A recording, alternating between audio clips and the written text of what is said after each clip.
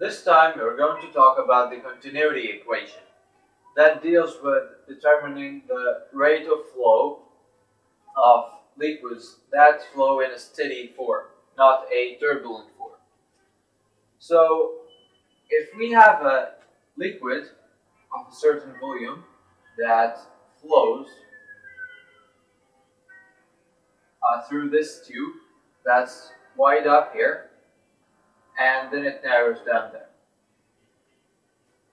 Okay, if we have a beaker that contains this amount of liquid and we want to put the same amount of liquid in a narrow test tube like that, we would imagine that the level of water in the tube could reach this height instead of this height.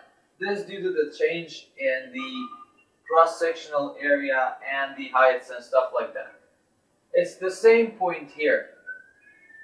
Uh, here we're dealing with a certain volume of the liquid. As long as the volume is constant, no matter how I change the dimensions, like x here, which is the distance moved by the liquid, or I change the cross-sectional area, which is A1, and this is X1. Like, it's, uh, for example, 4 by 2 is just the same like 8 by 1, or 1 by 8, or 2 by 4. They all give me the same result. It's 8, uh, for example, cubic centimeter. These are all different dimensions, but they give me the same volume. So when the liquid moves and passes from this um, wide part of the tube to the narrow part, it will extend like that.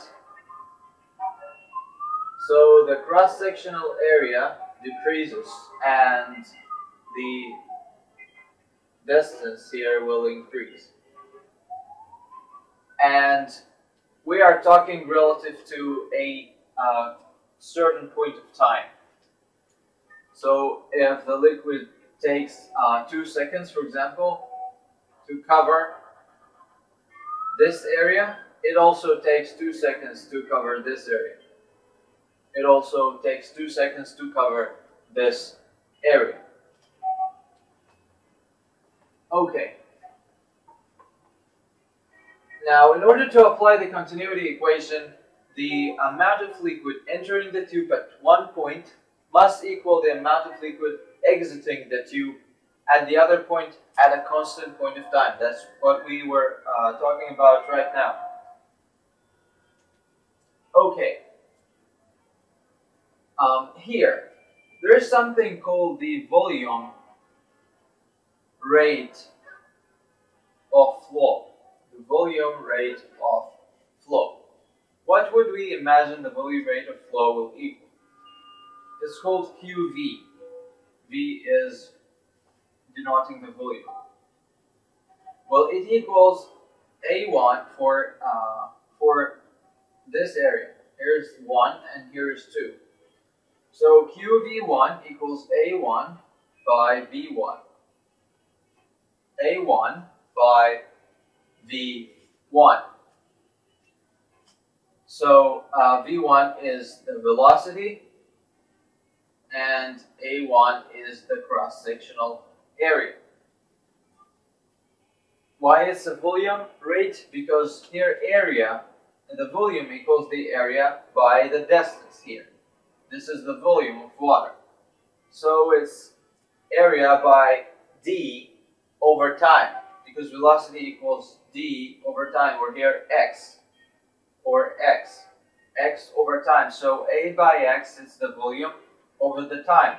Well, the time is constant, so this actually equals the volume.